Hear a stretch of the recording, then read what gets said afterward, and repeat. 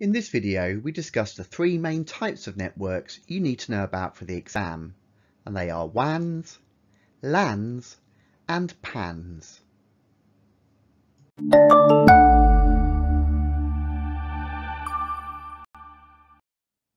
Computers that are not connected to any network are referred to as standalone computers. Now there are many reasons why you'd want to network a standalone computer.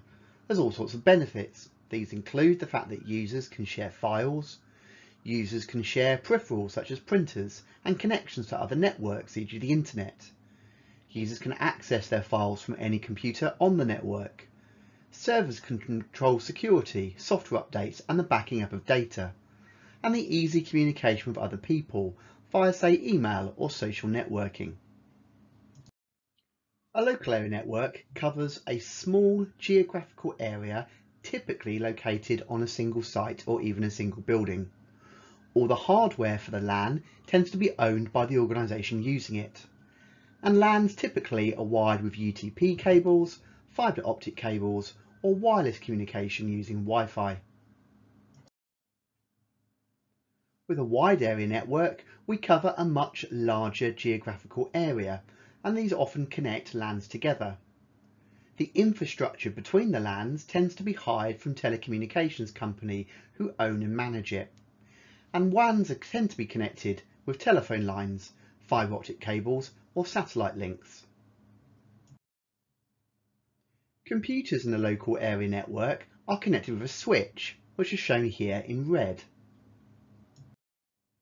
Computers in wide area networks are connected with a router, shown here in green.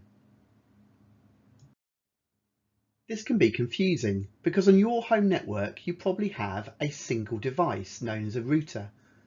In this situation, your home router is able to provide the functionality of a wireless access point, a switch and a router all in one physical box. On a much larger local area network with many more machines to connect, these would be three different physical devices, each with a dedicated function.